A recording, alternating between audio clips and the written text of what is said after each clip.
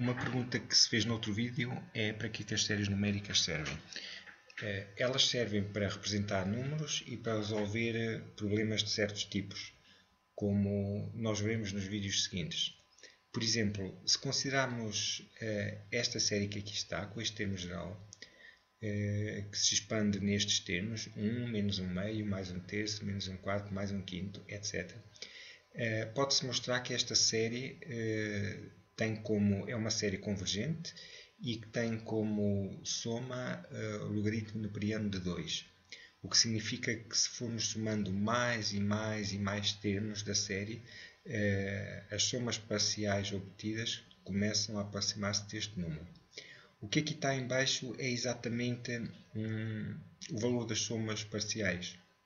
Um, podemos ver aqui que quando o, o, a soma S1 correspondente a este termo tem como valor 1, a soma S2 é 1 menos 1 meio, 1 menos 1 meio dá 1 meio que é 0.5, 1 menos 1 meio mais 1 terço dá 0.8333 eh, e, portanto, o valor das somas parciais eh, vai aos poucos eh, convergindo, aproximando-se cada vez mais do número 0.6931, etc., que corresponde ao logaritmo de 2. Uh, eh, podes ver aqui que quando somamos 100 mil termos, o número já está muito próximo. Estes primeiros dois dígitos já estão estabilizados nos valores finais. Significa que se eu considerar termos maior do que este, já não mexo nestes dois dígitos, mas apenas nos que estão eh, após. Aliás, estes até ao 314 já está uh, igual, 69314 já está igual a estes primeiros 5, 5 dígitos. O facto de isto estar representado aqui com muitos dígitos tem a ver com a representação que o computador faz para números reais, mas de facto o que deves ler aqui é 1, o que deves ler aqui é 0.5, etc. E a questão uh, de interesse aqui é, o número LN2 não é um número racional e portanto não se pode representar como uma fração, eh, por exemplo, como 2 terços ou como 3 quintos ou algo deste, deste tipo. Portanto, a única maneira que nós temos de representar um número irracional como este, é de conhecer os seus dígitos, eh, tantos quanto a gente queira, é usar uma série deste tipo, não há outra forma. Temos aqui outro exemplo em que consideramos a série eh, somatório de 1 sobre raiz de n isto é uma maneira genérica de representar a série. Isto é o operador sigma. Eh, já vamos ver num vídeo à frente eh, como é que se usa. Mas a série que aqui está tem como somas parciais esta. Os termos são, o primeiro é 1, o segundo é 1 sobre raiz de 2, o terceiro é 1 sobre raiz de 3, etc. O enésimo é 1 sobre raiz de n. Esta série é divergente e as somas parciais por causa disso mesmo, eh, não, eh, a sucessão das somas parciais não converge para nenhum número. De facto, está aqui eh, este tender para mais infinito. Significa que, à medida que vamos considerando mais e mais termos desta série, as somas parciais podem ser tão grandes quanto a gente queira. Ou seja, esta sequência numérica Sn não é limitada superiormente. Eh, vemos aqui os valores que obtemos para alguns, eh, para alguns termos. Consideramos o primeiro termo vale 1. 1 mais 1 sobre raiz de 2 é este valor aqui. 1 mais 1 sobre raiz de 2 mais 1 sobre raiz de 3.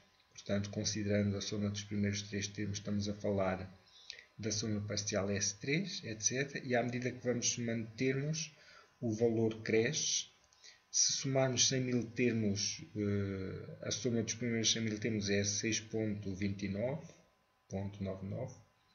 Portanto, uh, esta série uh, cresce lentamente, mas ela é sempre crescente e ultrapassa qualquer número, não importa quão grande ele seja. Pode ser podem ser necessários muitos termos, somar muitos termos para atingir um certo número. Mas a convergência para mais infinito significa isso mesmo. Por muito grande que seja um número que possas imaginar, eh, somando suficientes termos desta série, a soma passa esse número. Finalmente, um último exemplo muito interessante porque é uma série convergente para um número pi quartos. Portanto, a série é uma série alternada, significa que o sinal de cada termo é diferente do que se segue e é diferente do termo que está antes, caso exista. Por exemplo, temos aqui menos um terço, é diferente do sinal deste termo e é diferente do deste. Portanto, os sinais alternam mais, menos, mais, menos, mais, menos. E esta série uh, converge para pi quartos. Uh, Pode-se mostrar que esta convergência uh, acontece. O que nós temos é isto, pi quartos igual a 1, menos um terço, mais um quinto, etc. E a importância desta série é que ela permite obter uma representação numérica para o número π. Portanto, se, se pensarmos que o π vale aproximadamente 3.14, etc., podemos perguntar, eh, se quisermos saber os outros dígitos, como é que nós conseguimos eh, gerá-los. É? Até podemos perguntar de onde é que estes dígitos vêm. Mas o ponto aqui é que eh, se formos, se multiplicarmos por 4 ambas as partes desta igualdade, obtemos à esquerda π. E, portanto, obtemos uma série cuja sucessão de somas parciais converge para o número π. O primeiro elemento, 4 vezes 1, é 4. O segundo elemento é 4 menos 4 terços. 4 multiplicando por esta subtração, que dá 2.66.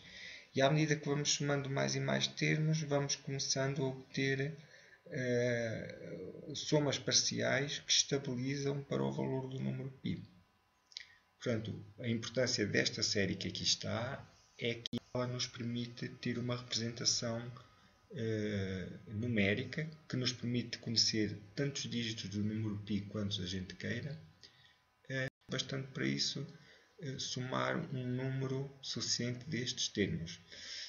Uh, no final do semestre, nós vamos ver que existe uma fórmula que nos permite calcular o erro que nós temos relativamente ao valor exato de π se tomarmos um certo número finito de, de termos desta série. E depois eh, basta só para uma dada aplicação eh, calcular o erro com que queremos usar π e essa fórmula de erro permite-nos saber exatamente quantos termos devemos aqui pôr. Portanto, eh, uma expressão, uma igualdade deste tipo é uma geradora de dígitos de número π à descrição, por assim dizer.